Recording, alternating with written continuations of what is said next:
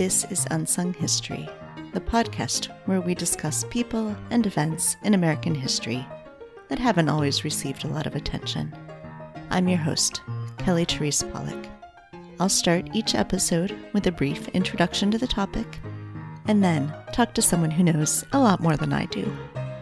Be sure to subscribe to Unsung History on your favorite podcasting app so you never miss an episode.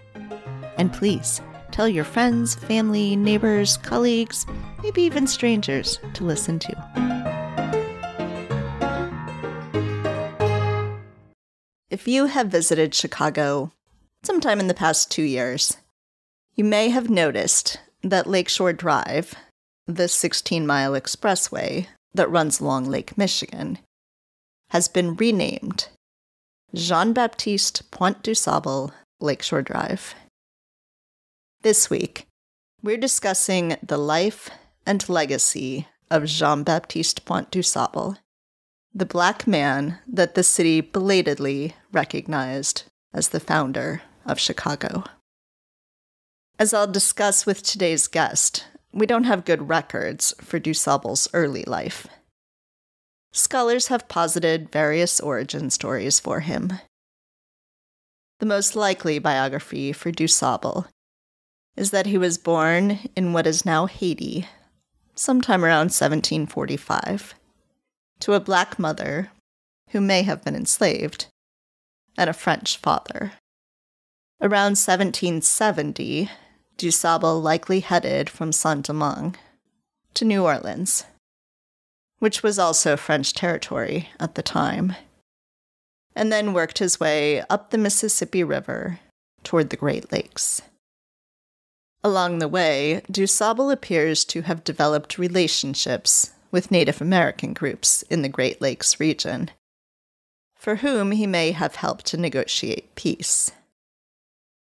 At some point in the 1770s, DuSable married a Potawatomi woman named Kitihawa, who was later called Catherine, in a tribal ceremony. They were remarried in a Catholic ceremony in Cahokia, Illinois, on October 27, 1788. We do have written record for that piece of DuSable's biography. DuSable and Kitihawa had two children together a son named Jean Baptiste Point du Sable Jr., and a daughter named Suzanne. In 1779, a British officer named Arent Schuyler de Peyster took note of DuSable, writing that DuSable, who was then a known trapper and trader, was a, quote, handsome Negro, well educated and settled in Chicago, but much in the French interest. Unquote. The area that De Peyster referred to, as Chicago, was a swampy site on the north shore of what is now the Chicago River, very near to Lake Michigan. As Chicago was named by a Native American group in the area, with the term meaning something like Land of the Wild Onions. We don't know how long before 1779 DuSable and his family had settled on the land. What is now the Midwestern United States was in 1779 contested land during the American Revolution. In August of 1779, DuSable was arrested by a British lieutenant, Thomas Bennett, on suspicion of being a sympathizer to the American cause. After a few months, the British released him, and British Lieutenant Governor Patrick Sinclair named DuSable the manager of a trading outpost on the St. Clair River in what's now eastern Michigan. The trading post was called the Pinery, and DuSable spent the next three years there, living with his family. Sometime after that, likely in 1784, DuSable and his family returned to Chicago, where he continued to work as a trader and where he built what is often referred to as a log cabin, but which at 40 feet by 22 feet was quite large for the time and place. In addition to the house, the DuSable property included a smokehouse, a stable, a workshop, a bakehouse, and several other buildings. Travelers in the region noted DuSable's presence there, stopping to trade with him. DuSable, of course, was not the first person to ever visit Chicago, and a few others had camped out nearby. But he was the first person known to set up a permanent settlement there. His daughter, Susanna, was married there to Jean Baptiste Pelletier in 1790. Their only known child, Eulalie, was born there in 1796. In May of 1800, DuSable and his family left Chicago. We don't know the impetus for the move, but DuSable sold his property to a French Canadian fur trapper named Jean Lalime for 6,000 pounds. Four years later, Lalime sold the property to another fur trader named John Kinzie, who later murdered Lalime in what's known as Chicago's first murder. DuSable moved to St. Charles, near St. Louis, in what is now Missouri, but which was then Spanish Louisiana, where he had a commission to operate a ferry across the Missouri River. On August 28, 1818, Jean Baptiste Point du Sable died in St. Charles. He was buried in an unmarked grave that may have been moved several times as the cemetery moved. His final resting place is now unknown. For a long time, Du Sable's role in settling Chicago was forgotten. Kinzie's daughter in law, Juliette Kinzie, wrote an early history of the area called Wau-Bun, The Early Day in the Northwest, which framed Kinzie as the founder of Chicago. In 1913, the city of Chicago raised a plaque honoring DuSable, but most Chicagoans had still not heard of him. The black population in Chicago grew during and after World War I, and during the planning for the 1933 World's Fair in Chicago. The Chicago Defender began calling for recognition of DuSable. Black Chicago club women formed the National DuSable Memorial Society. And the World's Fair included a replica of his home and a pamphlet about his life. In 1935, a new high school opened on the south side of Chicago, in the historically black Bronzeville neighborhood. A year later, it was named DuSable High School. As you may recall from previous episodes, both Mayor Harold Washington and publisher John H. Johnson attended DuSable High School, as did musician Nat King Cole and entertainer Redd Foxx, among many other African Americans who would rise to fame. In 1961, artist and teacher Margaret Taylor Burroughs and several other people established a museum to celebrate Black culture. In 1968, it was renamed the DuSable Museum of African American History. Since the 1970s, the museum has been located in Washington Park on the city's south side, near the Hyde Park neighborhood. By 2016, the museum had an affiliation with the Smithsonian Institution. In March of 2006, the Chicago City Council passed an ordinance amending the Municipal Code of Chicago to add DuSable as the city's official founder. In 2009, the city installed a public bust of DuSable near the spot where his homestead had been, at the northeastern terminus of the bridge that crosses the Chicago River at Michigan Avenue. a bridge that's been called DuSable Bridge since October 2010. And in June of 2021, the Chicago City Council, after contentious meetings and a bit of compromise, voted to rename the outer portion of the iconic Lakeshore Drive after the city's founder.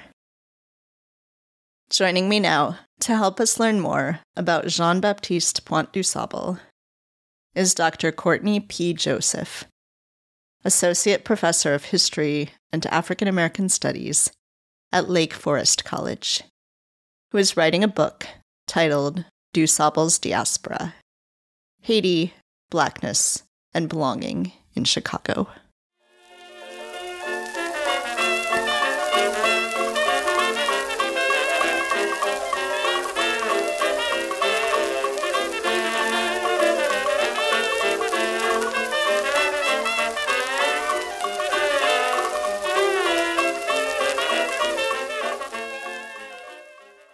Hi, Dr. Joseph. Thanks so much for joining me today. Thanks for having me, Kelly. Yes. So, as a Chicagoan who regularly drives up Jean Baptiste Point du Sable Lakeshore Drive, I am very interested in learning more about Du Sable. So, I'm so glad that you want to speak with me about him. Awesome.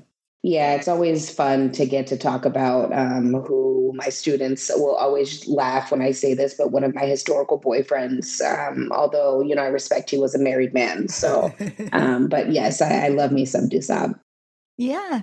So let's talk a little bit about how uh, you grew up in Chicago, I believe. So, how did you first come to know about him and and his legacy?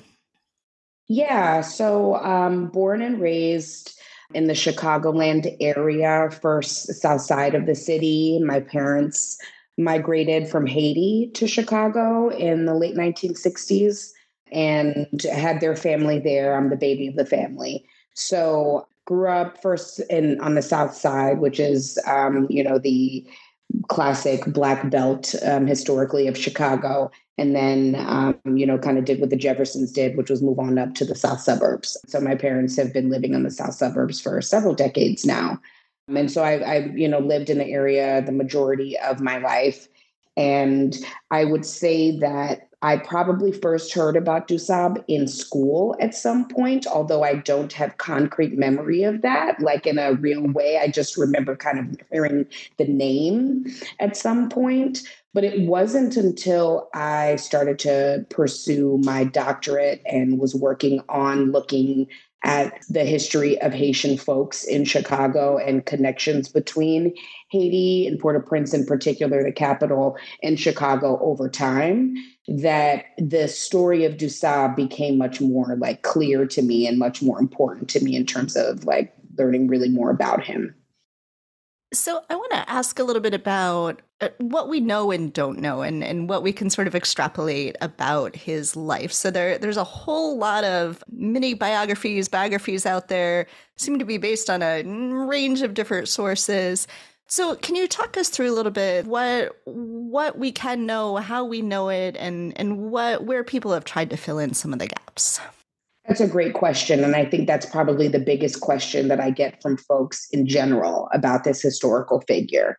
It's actually probably one of the bigger points that I'm wrestling with in terms of writing. Um, my first book is looking at, again, um, a history of Haitian people in Chicago. And I start that story with Dusab.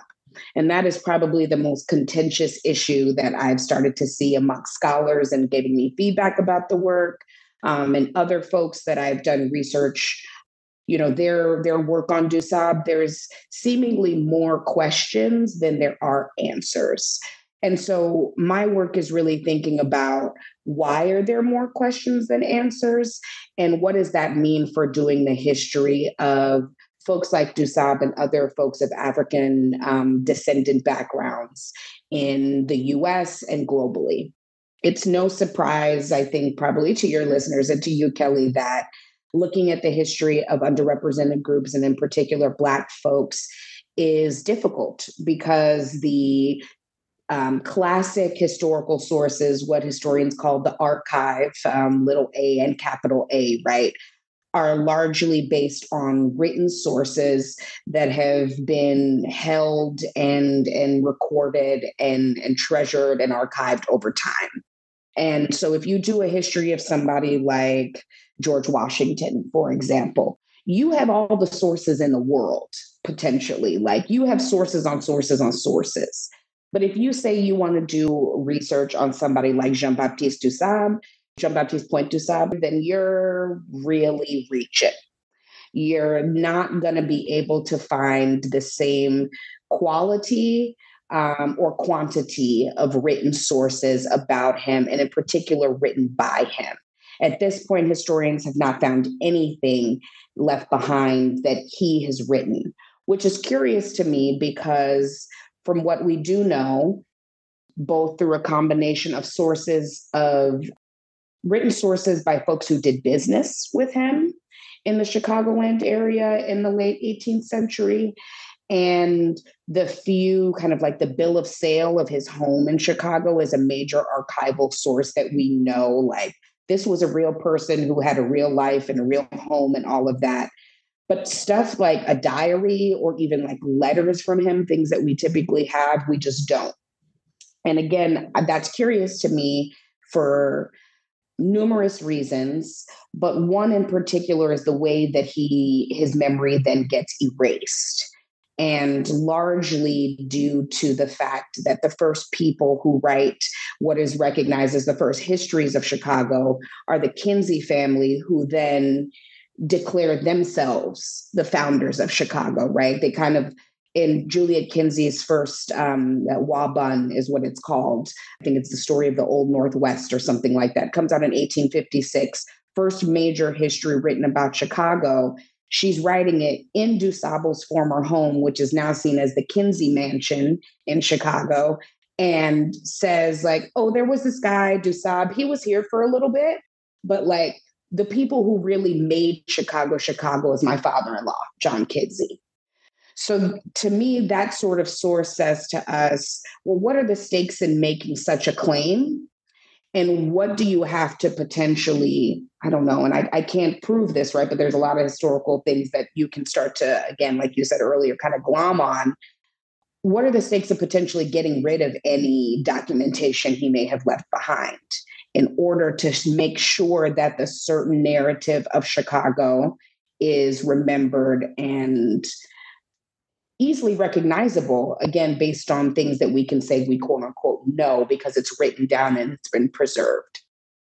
So a lot of my work falls in line with a, a wonderful Chicago historian named Mark Rosier, Mark Rosier, R O S I E R. He wrote a book in 2015, a big tome, like probably the first big historical source looking at the life of Dusab.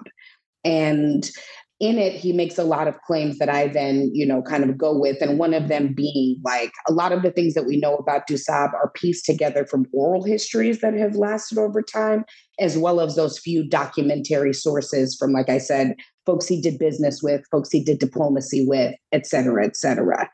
So it's it's a, a, frustrating thing, but it's also an exciting thing because it allows for the historians to, like myself, to fill in stuff that we know about the area, the time period, to make educated guesses about what this person's life may have really been like because we don't have the luxury to like go and look at you know the story from his birth the story from his death all written down. So this is uh, in the pieces that we do know is an incredibly international story. So you know you think of it as like the midwest does not feel like an international place to most people probably but DuSable, as far as we know, is coming from Haiti, probably up through New Orleans. And it comes to this region that is passing hands, you know, it's, it's contested area. Uh, and of course, there are native groups already living here who call this place home. So, can you talk a little bit about the the internationality of it and what what all is going on uh, that he is trying to navigate and seemingly is very good at navigating?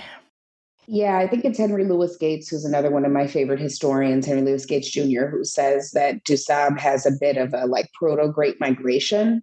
that like if we think about the movement in the 20th century of black folks both from the caribbean but especially from the southern united states making places in the north like chicago their home we see that happening in the late 18th century mid to late 18th century with dusab so from what we know and again i rely a lot on mark rosier's work here to answer that big question for historians where is dusab from you have historians saying he is from possibly more historians agreeing that he is from what would be known at that point the colony of Saint Domingue under the French.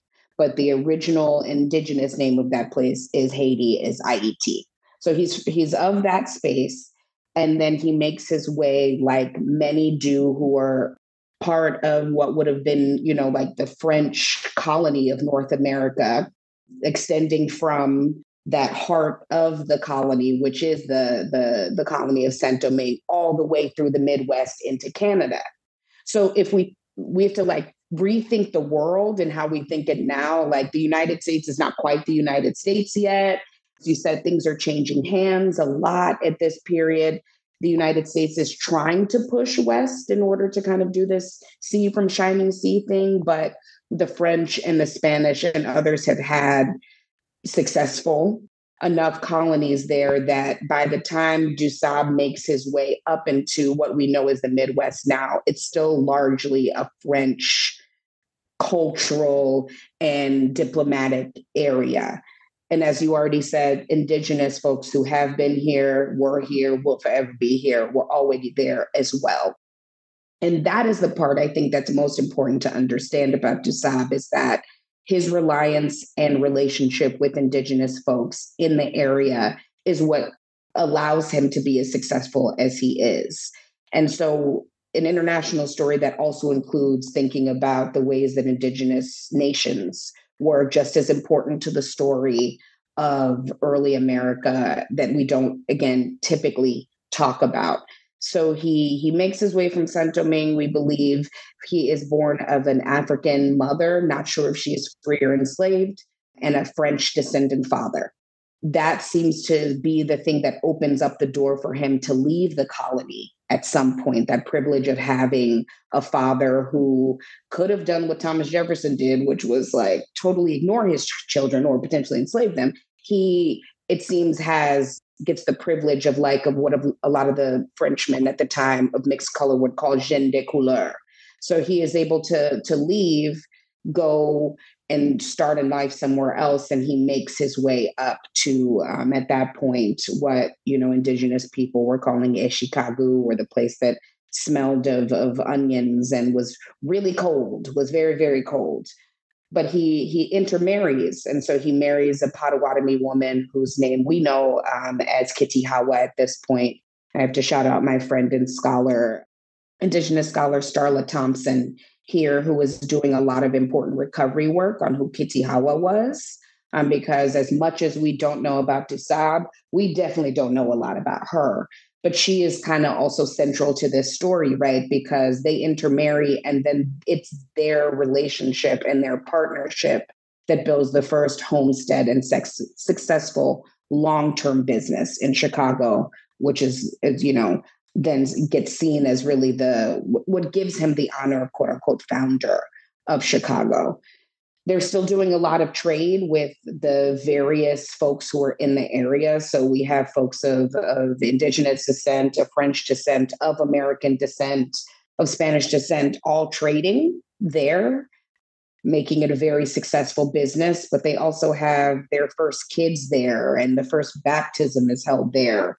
And they kind of hold the tide of, again, how that the land and everything is shifting at that point, it seems to be that they are a kind of a permanent part of the early kind of changing landscape that eventually um, by 1800 they can kind of no longer it seems stand the the shifts that are coming so you mentioned earlier the bill of sale from his home, and uh, you know I, I, think uh, people who are sort of vaguely familiar with his story may have heard of like a cabin on the what's now the Chicago River. It's a little bit more than a cabin. Can you talk a little bit about what it is that that they actually established there? You know, why this is more than just a like a, a house that was built there and, and didn't mean anything. Yeah, I mean, it's pretty major. It's really cool to read and to get like also a, a sense of not only how like big they were doing it, but how like both of their cultures are very much seen in the way that the home is run and and the way that it's built. And so we have poplar trees outside that are brought and planted there to kind of represent French heritage for him. They have French inspired doors. It is a large homestead that includes things like a bakehouse and livestock. And he's remembered by folks who do come and do business with him as a handsome Negro with an affinity for drink and like a, a, good like host, amongst other things. So there seems to be like a pretty large operation that is largely built around the fur trade business. And that's another thing that brings him to the Midwest is that there's a big understanding of French fur traders in this area being able to make a way for themselves, establish themselves, do well. And so he seems to get become part of that trade but then that opens up all sorts of other things for him um, and his wife he's traveling a lot and you know amongst you know the midwest he has time that he spends in detroit he's land in peoria that we later found out about so as he's kind of traversing the midwest we often then imagine Kitihawa is the one kind of keeping the day to day of not just a business running that has these multiple facets to it, but also then like, you know, the kids and the family, which is also just as important. So you mentioned this land around the Peoria area. It, it seems like, and I'm trying to piece together the, the different pieces of the story here, but uh, it, he owns something like 400, 800 acres in various places. Uh, and, you know, it, if you're just sort of on the face of it, thinking about what was life like at the, the turn of the 18th century for uh, a black man in what would become the United States.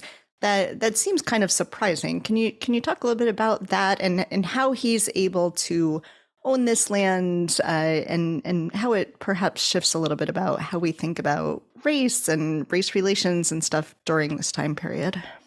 Absolutely. Also, another great question, and a question again that I think a lot of scholars are also asking how he makes it through the racial landscape of the era when most folks would imagine and is correct that most African Americans or most people of African descent are enslaved at this point. How endeavor, race is always in flux and racial understandings are always shifting, um, which is a benefit and also terrifying at the same time. And so, if we imagine a world in the mid 1700s where places like the, the French and Spanish colonies have a little bit more of a gray area in terms of racial politics that is not as strict as the black white color line that the United States will largely come to define themselves around. There are ways, and in particular, like I called Dusab is a man of mixed race, right? And so in Saint Domingue, the mixed race class are the actually the ones who helped to tip the scales in the Haitian Revolution. Because they are in this middle ground where they're saying, I'm not enslaved and and not, you know, not totally racialized as black, but I know that I am not white but there are some things that I have access to due to the fact that I have some relationship to whiteness. What does that mean for me in, in these societies? How do I navigate that? And I think that's largely the gray space that Dusable is navigating, even when he comes to the French Midwest, because there are other folks of color who intermarry. He does things that other Frenchmen do, white Frenchmen, intermarry with indigenous women try to establish themselves in a way that is largely based on socioeconomics and you know like family legacy versus just color and so i think that um, there's even a historian who suggested that maybe DuSable was a runaway slave from Kentucky. That makes absolutely no sense because that they would have found him. Like, you know what I mean? Like the United States, as it grows, is becoming more and more again wedded to white versus black and that there's not much of a gray area in between. And so for somebody like Dusab to live and do what he needs to do, I think it's important for us to remember that blackness is not as stark in terms of what it means for you society wise in the 1700s as it does by like the mid 1700s as it looks in the late 1700s and then the 1800s and then again in the 1900s like that's reinforced through law that's not quite there in the same way in the midwest as it is before it becomes officially a part of the united states which happens again after the Haitian Revolution ends and Louisiana Purchase happens in, in 1803 um, into 1804 when when Napoleon says, well, if we lose Saint Domingue, we don't have really any stake in having any land in North America, and they sell that like a third of the mass of the what we know as the United States to to the actual United States government. And so, with all of that in flux, I think that he is navigating a changing world and again is very smart in understanding the parts of him and again that intermarriage with an indigenous woman as a way to situate himself and kind of ride the wave. And then by the time it is clear that those things are not as in flux or won't be in, as in flux anymore he sells the home and he moves to missouri. And that's where he spends the last like several decades of his life. And so it's it's again very intriguing to think about a world that is not as racially stark as it is today but this is why thinking about race as a relatively new concept and a new um, commodity is something that i think is both empowering for folks because it means that we can we can change again yeah yeah, and just to underscore that a little bit, Jean Baptiste and Kitihawa have a daughter who then marries a white European man. Uh, yes. So she clearly has access uh, access to that. Yes, yes, yes. So like it it shows again that it's it's much more influx and fluid and localized than what we then come to understand about how, especially after the American Revolution, the entrenchment of chattel slavery as racialized slavery becomes indicative of what helps to build the United States as a new country in a way that's not it wasn't always that way. I'll just I'll leave it that way. Yeah. So can you talk a little bit about the the legacy of DuSable and and what it means, what it has meant over time to to Haitian Americans and uh, to Black Americans that the founder of Chicago was in fact uh, a Haitian, a Black man.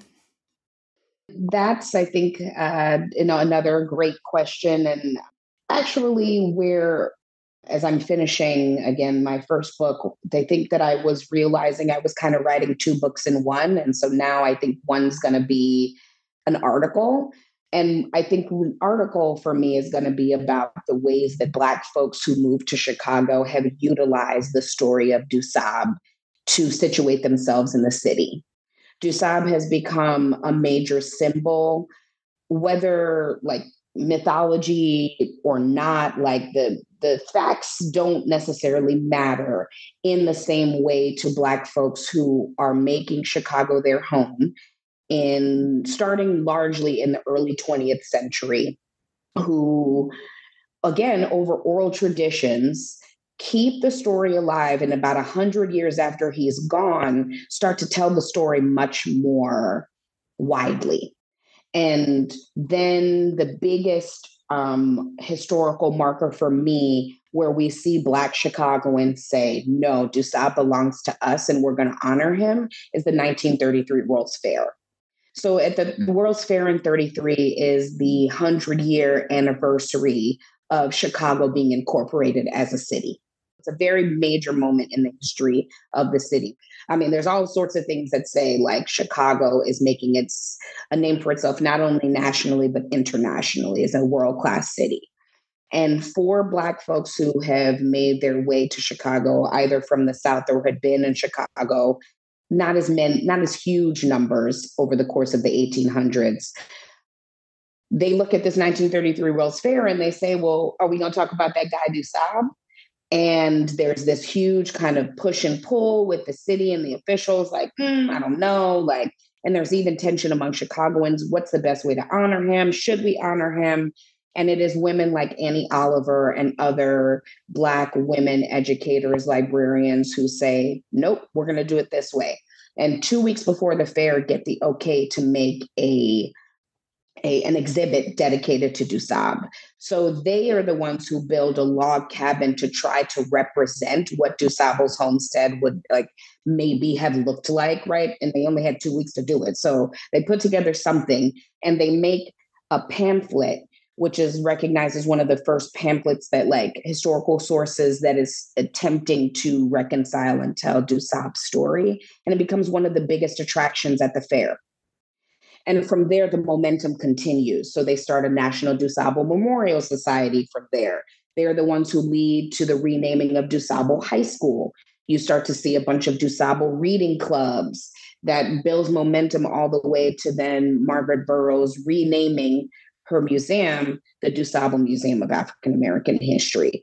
So it becomes a snowball over the 20th century of like, again, Black descended folks who make their way to Chicago and say, oh my God, what do you mean this is a space that's not for Black people? The first guy who was here and made a city here, it, you know, made it cool here is a Black person. So they they really um, champion the story of DuSable. And again, it's less about the like historian what we know and what we don't know facts because black folks are very used to not having all the details and still that doesn't mean they can't celebrate and tell the story as they know it the same thing then happens for Haitian folks as they come to Chicago. Haitian folks, after DuSable, start to make Chicago their home in large number in the 50s and the 60s, 1950s and 60s. Although, if I take it back to another fair, the 1893 World's Fair that celebrates the 100 years since Columbus, again, tying us back, where does Columbus first land? In the island of Hispaniola, Haiti, and Dominican Republic today, right? So Chicago has this this celebration, and what is the one of the only buildings? Actually, I think it's the only building dedicated to Black folks, the Haitian Pavilion Building. It is the big stalwart building. It's now there's a, a the little plaque dedicated to where it was in Grant Park. Frederick Douglass speaks there. Ida B. Wells is there. This is another major attraction in the 1893 World's Fair that again points to the ways that like Haiti and Chicago have these like really cool connections. So then, you know, over the course of the 20th century, you see more kind of a trickle of Haitian folks coming to Chicago again. But in the 50s, 60s, definitely 70s, 80s, as more and more come and make Chicago home, they then in school and are in Black communities hear the story of DuSable and say, hey, wait a minute, he belongs to us too.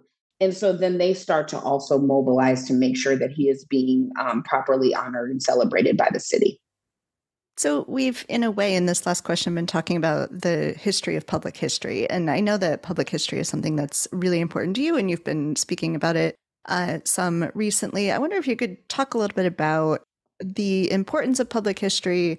Obviously, as somebody who does a history podcast, I find this very important. Uh, yeah. You know, but but I just kind of reflect on that. Public history is my jam. Um, public history to me is very, very, very important. We are at a very critical moment as a country in terms of education. And as a person who is a professor and is in academia, we are constantly being berated with the narrative that the humanities are on the outs and the humanities are in trouble and students don't want to major in the humanities anymore. Who cares about history or English or any of those things? And I understand that as a millennial with student loans. I very much understand why parents and even my parents were kind of looking at me, you know, in the early 2000s, like, you said you want to do what? Oh, that's so cute. She's going to be poor, but, you know, she's doing something. So I, I understand the inclination of wanting to go into a field that is, you know, data driven, healthcare, finance. Like I, I understand that. And as, you know, again, a parent who would be sending a child to college, I understand like you what are you going to come home and talk about you want to major in history and african american stories? Like who are you? At the same time when we think about the ways that history informs so much of what we do and the skills that historians use in so many industries we see that it matters. When folks share history publicly and bridge the gap between what is typically seen as the ivory tower and everybody else, I find it to be much more powerful. And it is the way that I start to get to see sparks in my students in what the future could hold from them. Because I'm, I'm, you know, I'm going to start my seventh year as a faculty member, which is crazy to say. But in that time, I've had so many like, you know, students knock on my door or send me an email like, I got to talk to you. And then they, you know, we we close them like closed door, open door. They're like closed door. It says, you know, it's it's private. And then they close the door and they're like, I think I want to major in history. And I'm like, okay, it's okay. I understand. Like, you know, like, how do I talk about parents? What am I gonna do? And public history has been such an incredible way to start to get them to think about the vast amount of careers and things that are available to them and how powerful it can be to share histories with folks, whether it's through a podcast or through a website or through a talk or through an exhibit or through a data project. Like I see there, I mean, it all sorts of light bulbs kind of fire off from them. And that's, I think, the real power of public history for me too, as I said, I'm the child of immigrants. And so, uh, and my research is largely sourced from the stories of folks who are not in the academy. And so, for me to write things that are inaccessible to my community seems unethical and um, problematic. And also, to me, is a large reason why folks say the humanities are in trouble. We're only talking to ourselves, and that's not doing as much as we would hope. And so when I see something like the 1619 Project, or I see something like the New York Times piece, they did a, a piece at the top of this year or last year, I think it was the end of last year, on it was called the ransom and it was about the ways that the french in the united states have basically siphoned off the money that Haiti would have used to establish itself as an independent nation and basically have crippled it. And that is the reason that we see all of these, you know, atrocities continue to happen there. That means something. And that gets folks talking and that gets folks interested. And I know that there's always, I always inevitably read pushback from historians when a popular history project comes out and they're like, well, we knew this. And I'm like, yes, we, this little circle of us over here, did know that, but now more people know it. And in order for things to change and in order for history to be, you know, active and to get folks mobilized around it, it is going to take larger conversations outside the academy. So I'm very proud and happy to be within the academy, but to then share what I learn and what I teach my students with larger audiences.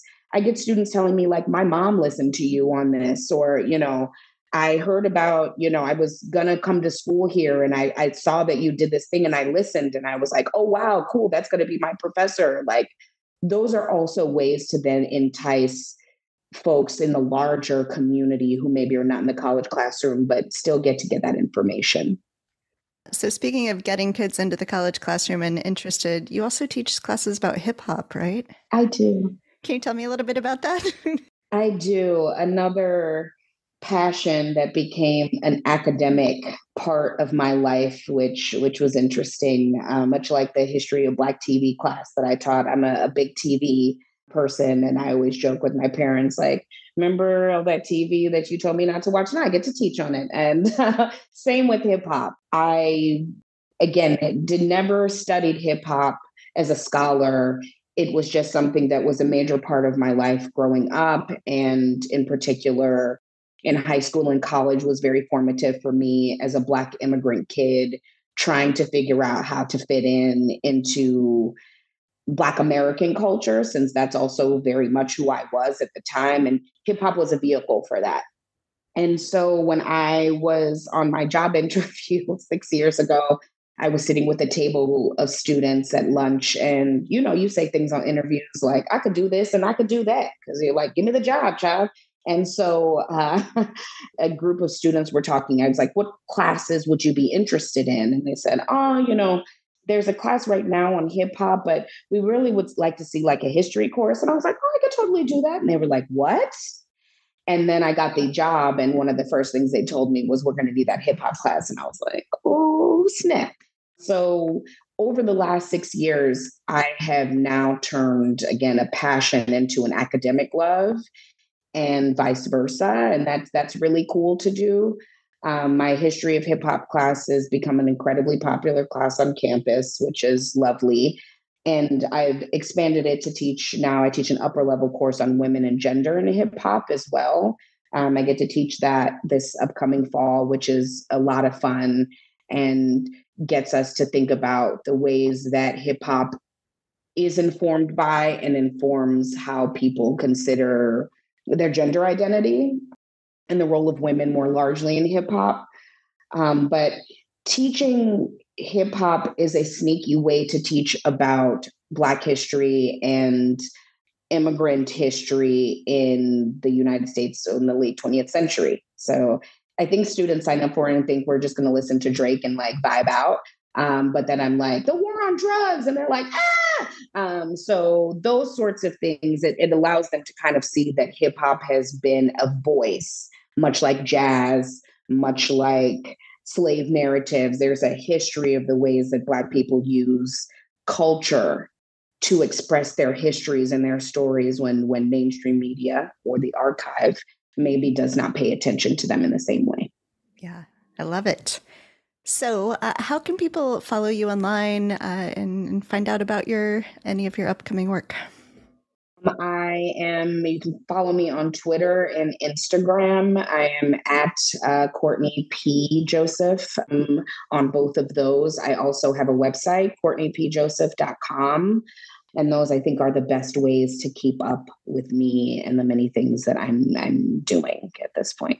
Excellent. I'll put links in the show notes. Is there anything else you wanted to make sure we talk about? I will always use this opportunity to plug folks into the fight for the DuSable Park. It has been over the course of my entire lifetime. I'll be 37 this year. Um, when Harold Washington, our first Black mayor, dedicated land near the Chicago River um, right prime real estate in Chicago. You may have walked past it if you've ever walked the Chicago River Walk or ever been on Navy Pier and looked, and there's this just like random kind of ugly piece of land there. That is because almost four decades ago, Harold Washington dedicated that land to be built for a park for DuSable to recognize the first Black father of the city. Unfortunately, Harold Washington passed away, you know, shortly after this um, occurred. And we have been pushing and advocating groups like the DuSable Heritage Association, the Friends of the Park, Black Heroes Matter. There are lots of you know grassroots organizing around actually seeing that park built we have had some inroads in the last few years there was there's a longer story here that I could talk about, but I won't on how that land has been used and disabused in that time. So it has, I think, been the EPA finished a cleanup on the land to make it accessible again for folks to to actually build upon. But we're hoping to see that part built and um, as exciting as it is to have the DuSable Lakeshore Drive, I want folks also to know that there are plans and a lot of work to build a park where folks can learn about who DuSable and Kitihawa were and you know have have school and and field trips and really to then honor the people who who made Chicago the space that it is for us. So if you're interested, please talk to your um, aldermen, your politicians. Make sure our lovely new mayor knows that this is also something we would love to see happen finally in honor of both DuSable but also Harold Washington. Excellent. I'll put links in the show notes for that as well. Dr. Joseph, thank you so much. I loved learning more about DuSable, and I, I just really appreciate you coming on and talking to me.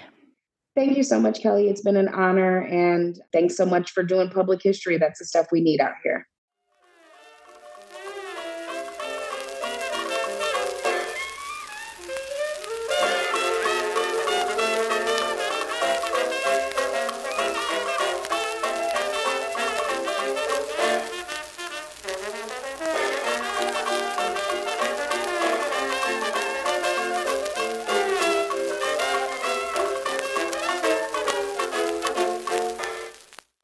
Thanks for listening to Unsung History. Please subscribe to Unsung History on your favorite podcasting app. You can find the sources used for this episode in a full episode transcript at unsunghistorypodcast.com. To the best of our knowledge, all audio and images used by Unsung History are in the public domain or are used with permission. You can find us on Twitter or Instagram at unsung underscore underscore history or on Facebook at Unsung History Podcast. To contact us with questions, corrections, praise, or episode suggestions, please email kelly at unsunghistorypodcast.com.